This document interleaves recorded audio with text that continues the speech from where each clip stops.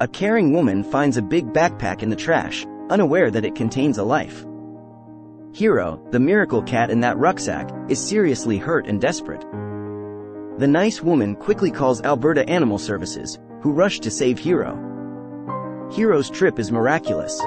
With several injuries and malnutrition, his survival was uncertain. As he battles for survival, Hiro shows his resilience. Hiro changes a week after rescue.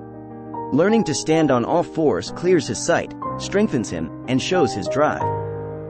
Hiro's tremendous spirit never fails. He purrs and demands cuddles from his caregivers despite his history. Hiro's hip surgery shows his fighting spirit. He soon runs and plays in his foster home. In two months, Hiro, the near-depressed cat, recovers. He now lives with a wonderful family and receives the love, attention, and care he deserves.